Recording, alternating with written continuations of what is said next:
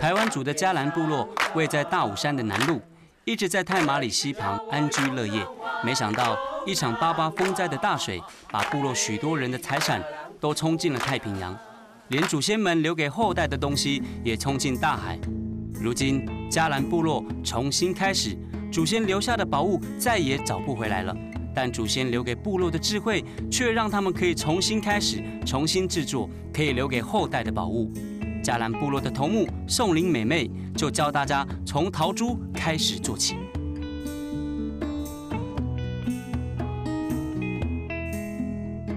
呃，宋林美妹老师，她就跟我们跟我们讲说，我们的陶珠虽然冲到太平洋去了，可是我们头脑里面的那个。陶珠要把它拿回来，这样子意思。然后我们就开始制作。老呃，宋林妹妹，嗯，是一我们这边的头目，所以她就先教我们一颗高贵蜘蛛。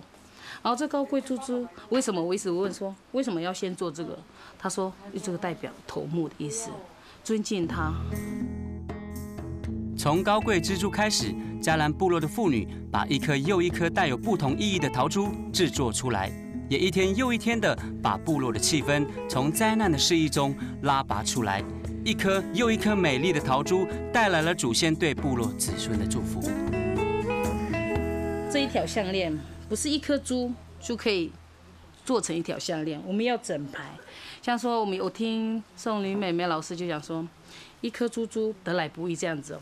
他说今天有一个人送你高贵之珠，就表示说他尊敬你，所以他就送你一颗。然后没多久，也许说你打猎回来了，然后你打到一只山猪，因为我们以前山打山猪是一个勇士英雄，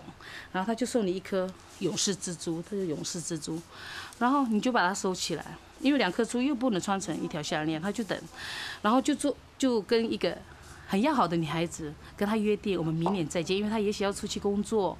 然后我们就说哦，明年我们再约什么时候见面，然后他就送她一颗。